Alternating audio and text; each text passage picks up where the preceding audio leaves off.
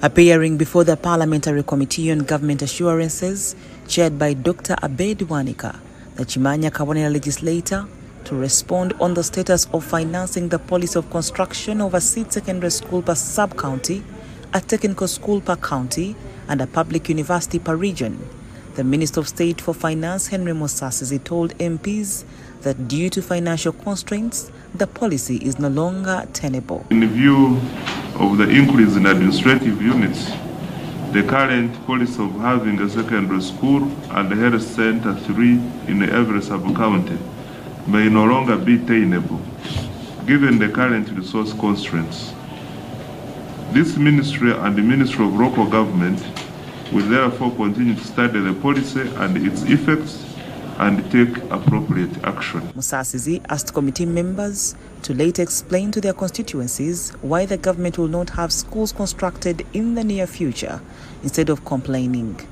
He volunteered to escort those MPs under pressure from their constituencies to explain the government position. The courage to tell his people the truth.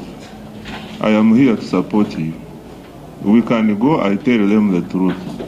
I will tell them the realities on ground, how our resource envelope is constrained, how continued establishment of new administrative units is becoming a constraint to government. All that I will tell them. However, some legislators were not swayed by the government's excuses, saying they have witnessed public funds being mismanaged every now and then. They asked the government to withdraw the assurance officially if they have failed to implement the policy. We have told the people, personally I come from Kibale, we still have six sub-counties without secondary schools, and we are banking on this assurance that they are also going to get.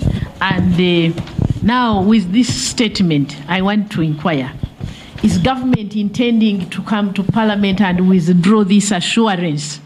In 2019, Parliament approved a loan of 130 US dollars, which is equivalent to 460 billion shillings, for the construction of a seed school in every sub-county.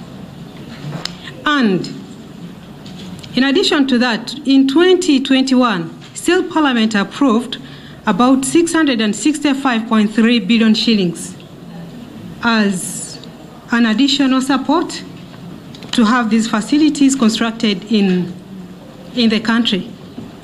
May I therefore know, Honorable Minister, how much money has been disbursed and how much money has been released to the Ministry of Education for the construction of seed secondary schools? Bwanika resolved that the committee writes the Prime Minister to get the position of government on seed schools before reporting back to Parliament. As I've told you, we are going to write to the Prime Minister and ask her to confirm the withdrawal basing on your statement that is written. In 2017-2018 financial year, under UGIFT program, government programmed to implement construction of 232 seed secondary schools in a phased manner, but to date, only 102 schools have been completed and operational, according to the Ministry of Finance. Report compiled by Fred Kajuri for the news at Parliament.